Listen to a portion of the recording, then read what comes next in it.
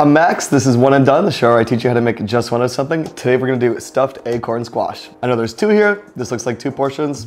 And you know what? Sometimes on One and Done, we make extras so that we can eat a lot or share with someone who might be around. Let's go. So the first thing you need to do is get yourself an acorn squash. And what we're gonna do is just cut this guy in half, scoop out the seeds, and get it into an oven at 400 degrees for about 25 to 30 minutes. Let's get these guys seasoned up a little bit. Some good olive oil good pinch of salt, as much or as little black pepper as you like. Now I'm also just gonna go ahead and throw in a couple thyme sprigs right on top of these guys. All right, now we're gonna make some quinoa, but you could do farro or rice. You can do whatever you want, really. That's kind of the best part about this recipe. We'll just bring this up to a boil, down to a simmer, cover it for 15 minutes, good to go. Got a sweet Italian sausage here, but you can use whatever you want. If you don't want to use meat, you could do beans, but this guy's gonna be delicious. This thing's ripping hot. Let's go ahead and get our sausage in there. I'm just gonna break it up a little bit.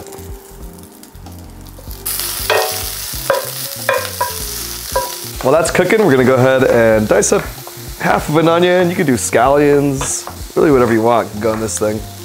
Set that aside. Now we'll prep some kale. Could also do spinach, it's one of the most flexible recipes, really. Make sure you give your kale a good massage. Give this a little mix. Getting some good color. Now that our sausage is mostly cooked through, let's add in a little bit of olive oil in the pan and go in for onions. And we'll do a little pinch of salt and pepper. And we'll go ahead and just cook that down for a little bit. Also have some fresh thyme, so we're gonna go ahead and go in there with that. I'm gonna go with a little bit of curry powder. You don't have to do this, but I think a little bit of warm spice is gonna go really good with this dish. Now we're gonna go in with our kale. In order to get this to wilt down really quickly, what I'm gonna do is just hit it with a little bit of water, or you can use stock and just cover it for a couple minutes.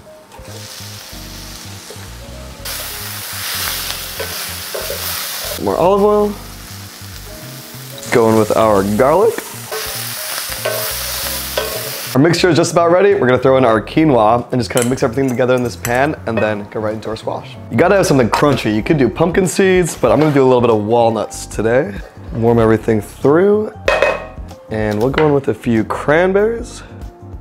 For sweetness, you could use pomegranate seeds, you could use apples. Finally, gotta have some kind of cheese. I'm gonna do Parmesan because Parmesan's the best. Give it one more mix and let's stuff these bad boys. Extra Parmesan on top, obviously. You can stuff this up however you want. Some fresh sage would probably be good on this, but I'm gonna go with a little bit of fresh thyme, a little extra drizzle of olive oil, and some fresh, coarse, cracked black pepper. Let's give this guy a try. Gotta get some of the squash in there, some of the stuffing. This guy's hot. Mm. You really can't beat warm fall spices and warm fall flavors. This is delicious. I hope you make it.